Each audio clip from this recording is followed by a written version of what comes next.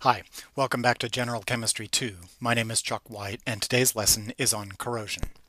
We're going to talk about corrosion of iron and steel, which is a $300 billion per year problem in the United States alone. It's an amazing cost.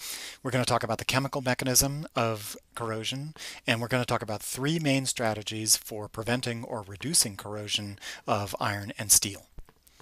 Now, the annual cost of corrosion, as I said, is 3 times 10 to the 11th dollars per year in the United States alone. That's an incredible amount of money. And uh, this estimate is made by uh, a study that was commissioned by the Federal Highway Administration in 2000 and 2001.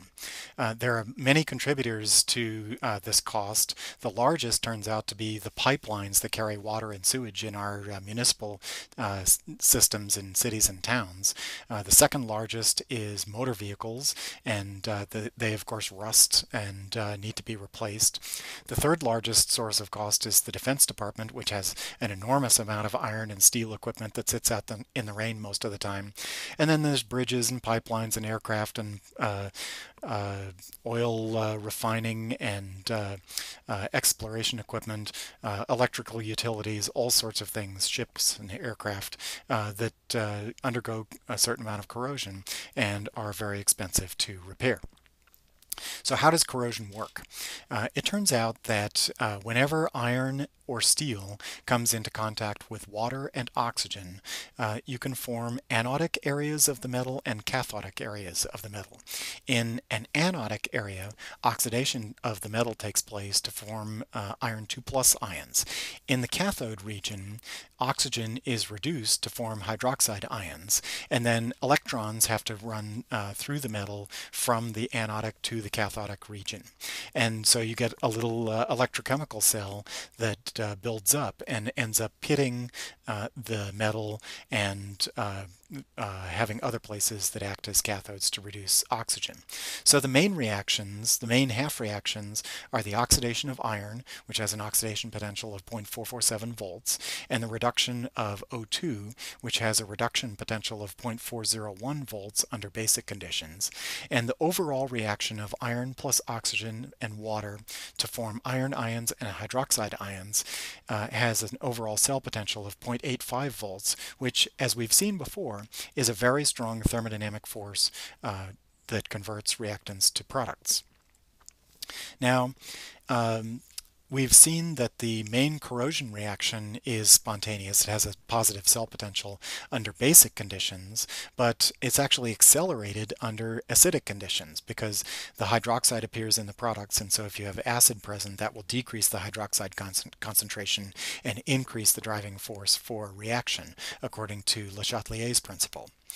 Uh, to make matters worse, there is a secondary reaction of iron ions with oxygen and hydroxide ions, all all uh, products of the uh, uh, main reaction to form iron oxide hydrate, which is rust.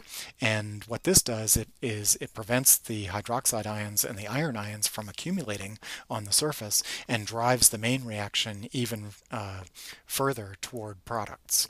Uh, to make matters even worse, it, when the pitting occurs in the anodic region, that increases the thermodynamic activity of the iron metal just slightly, greater greater than unity, and it further accelerates uh, the corrosion process. So one thing that uh, you may have noticed uh, is that whenever slight pitting occurs in iron metal, the rust preferentially builds up in that area and um, increases the level of pitting rather than occurring uniformly throughout the metal.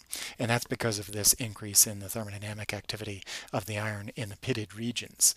And so um, whenever you have a pit in metal and, and the beginnings of rust, you really have to act quickly to protect that area of the metal, otherwise it will rust through uh, very quickly.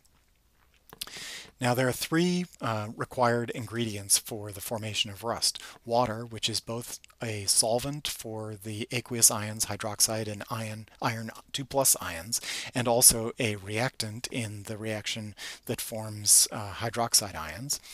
Uh, and oxygen, which is the main oxidizer in the um, cathodic region of the of the metal. Uh, and thirdly, we need uh, electrolytes. So you need to have iron ion transport in water.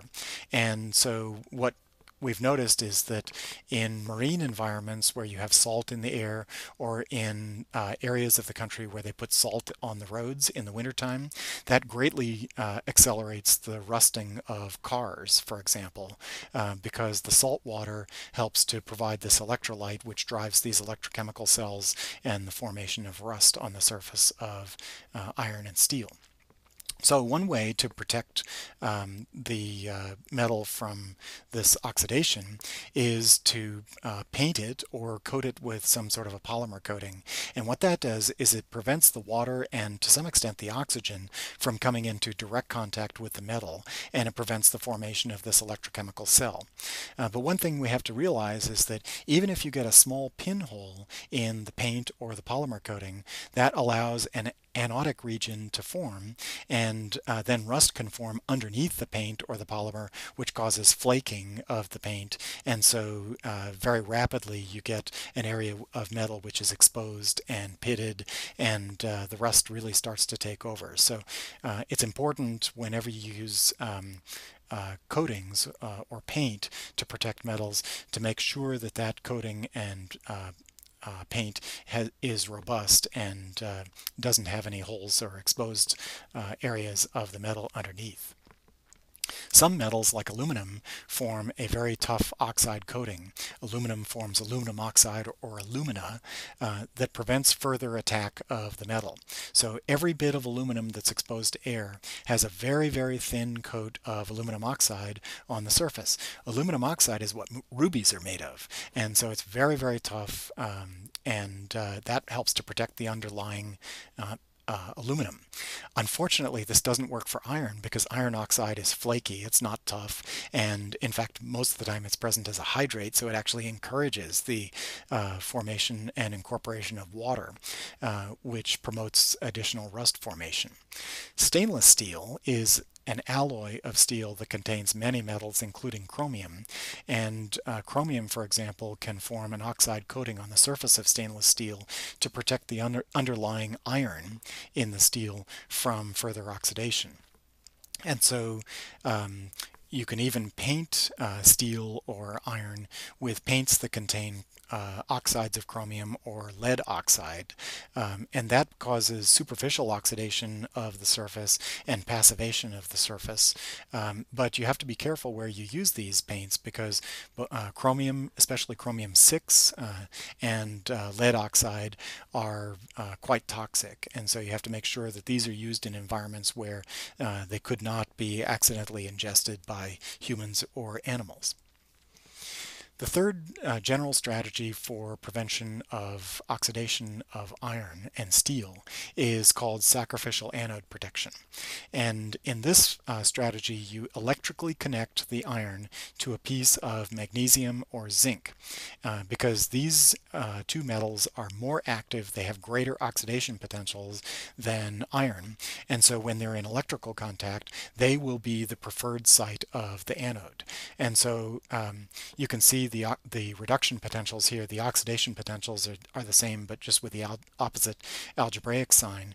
And so magnesium, for example, has an oxidation potential of plus 2.372 volts, which is much, much larger than the 0.4 447 volts of iron.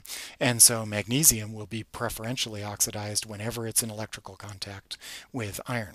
So here's a picture of a, of a sacrificial anode that's simply bolted to a ship's hull. And what that does is uh, instead of having the um, iron in the ship's hull uh, oxidized, the sacrificial anode is oxidized preferentially.